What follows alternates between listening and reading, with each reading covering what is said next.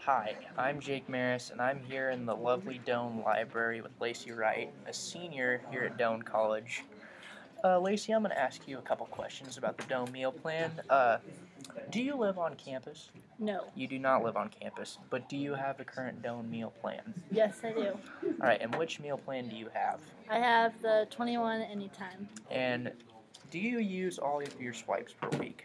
No, not even close. Not even close. Um, are you happy with the current meal plan? No, I feel like it is a tad expensive. A little expensive.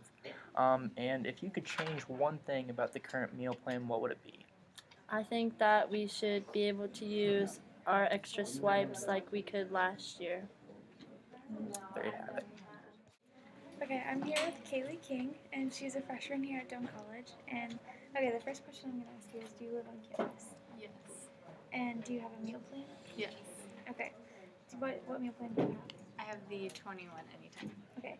And do you, like, are you happy with this? Or, like, like explain why you're, like, not happy if you aren't. Um, I'm not happy with it. I think it's a waste of money. I can't use all my swipes, and if any other company were to be doing this, it would be considered illegal because they're taking my money, and I'm not using it all. Um, and if you could, like, change, like, what would you change about the? Um, that we could probably get more food for each swipe, um, and that we could use the swipes basically anytime. And so, because I waste a lot of swipes throughout the week, I don't use them all. So that would be nice. Okay, thank you. Alright, I'm here with sophomore Nick Stevenson. And Nick, let me ask you a few questions about the meal plan. Do you have one to begin with? Yes, I do. Which meal plan do you have? I have the 21 anytime. Um, let me ask you a question. Are you happy with it? Uh, not really, not exactly. There's some things I would like to see changed about it. Really? Like, what, what are some things you'd like to see changed if you could change them?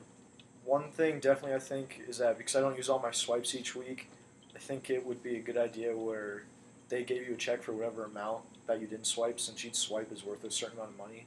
So if you had like, let's say each swipe is worth ten dollars. If you had five swipes left, they give you a fifty dollar check at the end of the week.